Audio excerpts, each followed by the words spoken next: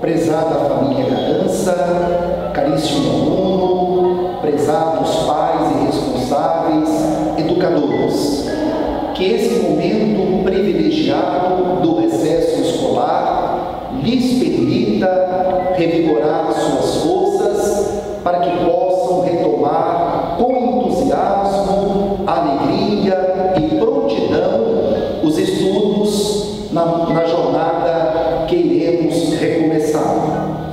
O Salmo 23 nos lembra: O Senhor é meu pastor, nada me falta, em pastagens verdejantes me faz deitar, para as águas repousantes me conduz e reconforta minha alma. Que Deus, Pai de infinita bondade, lhes conceda